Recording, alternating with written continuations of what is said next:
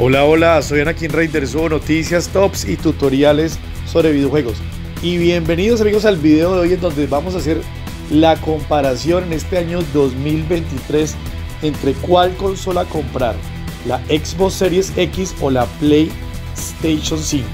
Yo la verdad no les voy a decir a ustedes compren esta o aquella, ni les voy a decir la mejor es esta. Sencillamente voy a hacer a tratar de hacer un video lo más objetivo posible, lo más imparcial posible para que usted, dependiendo de sus gustos, de sus necesidades, de sus medios, de sus intereses, escojan la consola que más les conviene. ¿ok? Entonces, si por algún motivo me equivoco en algún dato, por favor, hagan, corríjanme eh, respetuosamente en los comentarios. O si eh, en estos siete ítems, porque son siete ítems que voy a tener en cuenta, que a mi opinión son bien importantes a la hora de comprar una consola, falta uno, usted considera que hay un octavo ítem que es bien importante, que es de peso, a la hora de comprar una consola, por favor también hágamelo saber. Ahora sí, sin más preámbulo, comencemos. Y bueno, señores, el primer aspecto a tener en cuenta es el precio, que me parece algo bien importante. La Xbox Series X empezó costando 500 eh, euros en Europa y 500 dólares en Estados Unidos. A la fecha mantiene el mismo precio. La PlayStation 5 arrancó con los mismos precios de la Xbox Series X y, ojo que aquí estoy analizando la PlayStation el colector de disco en todo este video, ¿cierto? Empezó costando lo mismo, pero en Europa subió 50 euros, ahora vale 550 euros. Y en Estados Unidos, eh, a la fecha, la PlayStation 5 vale 550 dólares. ¿Cuánto cuestan las consolas en nuestras monedas locales? Pues hay que hacer la conversión de esos valores que les di a nuestras monedas locales. Entonces, a la fecha en promedio la PlayStation 5 cuesta unos 50 dólares más que la Xbox Series X. Y bueno amigos, el, el punto número 2, este punto a tener en cuenta son los exclusivos. Los exclusivos son juegos, juegos que solamente salen en esa consola. Pero hay que tener en cuenta que los exclusivos de PlayStation salen en PC sí, pero aproximadamente por ahí un año, año y medio después de que salen desde el día 1 en PlayStation. Los juegos de Xbox, la Xbox Series X en este caso, estos exclusivos también salen en PC, pero desde el mismo día de salida, ¿ok? Simultáneamente también salen en PC. Otra cosa, señores, a tener en cuenta es que los exclusivos son solamente el 1% de todo el catálogo que existe de videojuegos. Una vez me pasó algo curioso que alguien me dijo, no, voy a comprar esta consola porque es que yo quiero jugar GTA, Grand Theft Auto 5. Yo le dije, bueno, pero eh, si ese es el motivo, GTA 5 también sale en la otra consola, ¿ok? Entonces, mucha gente cree que es que tal juego solamente sale en una consola. No, la mayoría, como les digo, el 99% de los juegos siempre salen en ambas consolas. ¿Cuáles son los exclusivos? Bueno, voy a nombrarles eh, al menos unos cuatro exclusivos, los más importantes de cada consola. Bueno, entonces miren, en la PlayStation los exclusivos más importantes que le han dado más fama a la PlayStation son The Last of Us, ¿cierto? Eh, Spider-Man, God of War y Uncharted. Esos son, en mi opinión, los mejores eh, exclusivos y los más famosos de la PlayStation 5. Los de la Xbox Series X, ¿cuáles son? Pues Forza Horizon, es una saga de juegos de autos muy buena. Gears of War, Halo, eh, Forza Motorsport y The Elder Scrolls. Esos son los exclusivos más importantes de cada consola, pero obviamente ellos tienen muchísimos eh, más exclusivos. Entonces, ese es otro aspecto a tener en cuenta. ¿Cuáles juegos juega usted? Y pues ahí es un punto a favor de esa consola. Y bueno amigos, entonces vamos al punto número 3 que es la potencia. Y aquí vamos a los datos. La Xbox Series X tiene 12 teraflops de potencia y la PlayStation 5 tiene 10,3 teraflops. Eso sí aclaro que estos 10,3 teraflops son overclockeados, ¿ok? ¿Qué quiere decir overclockeado? Pues que la, consola realmente tiene como 8,3, 8,4 la PlayStation 5 y la consola se, lleva, se ha llevado, digámoslo, hacia sus límites, ¿cierto? Para que rinda eh, mucho más. Entonces, En este punto, pues hay que decirlo claramente, gana la Xbox Series X. Es usualmente la consola donde se ven mejor los videojuegos y la que se puede jugar a mayor número de FPS. Y en el ítem número 4 vamos a analizar algo bien importante que son los servicios, ¿ok? Eh, cada consola tiene su servicio de suscripción, así como existe un Netflix para tú suscribirse eh, a ver películas por un precio mensual, pagas una cuota mensual. Esto también existe en ambas consolas. El servicio de PlayStation se llama PlayStation Plus y el servicio de Xbox Series X se llama Game Pass, ¿ok? En precio eh, es un poco más módico el del, Game Pass. El Game Pass depende, eso varía de país a país.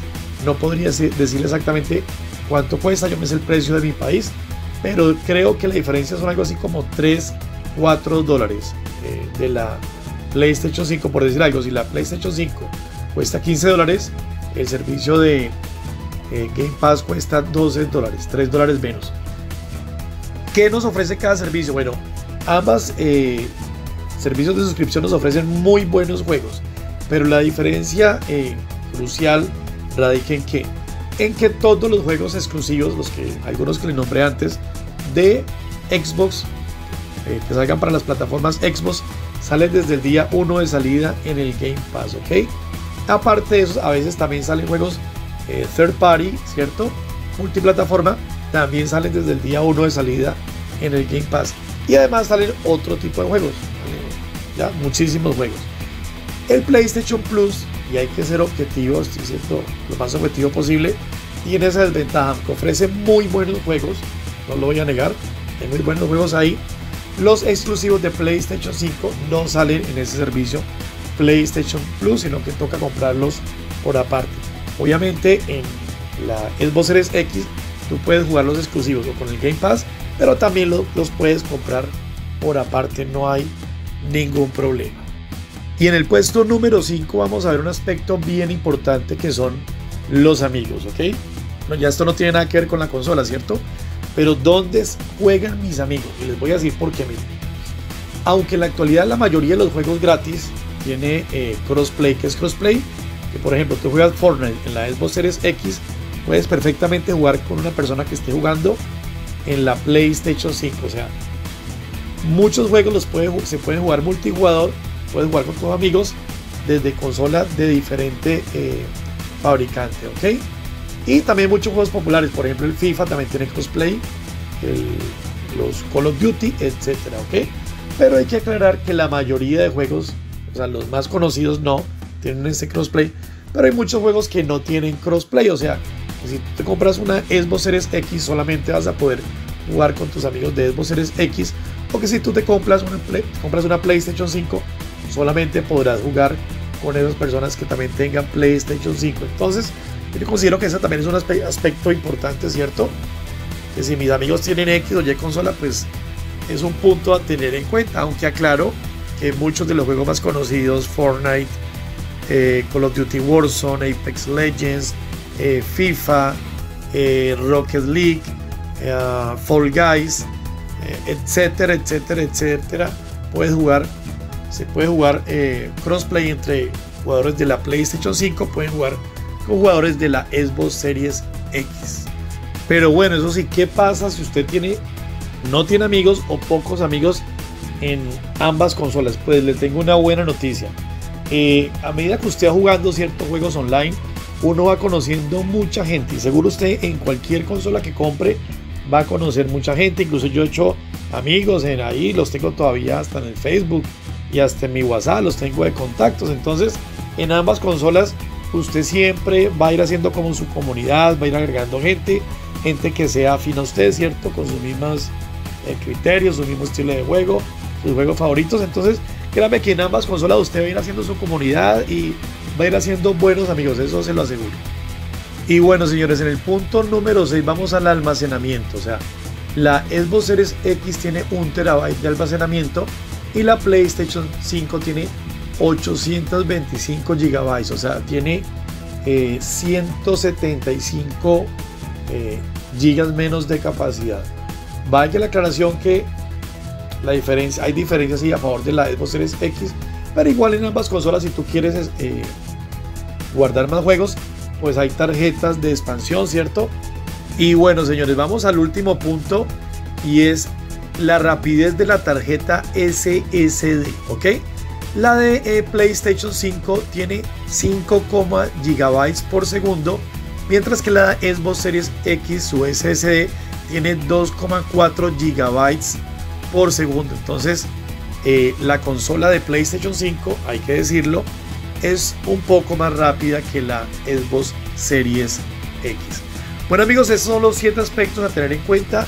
Hagan su mejor decisión, estudien.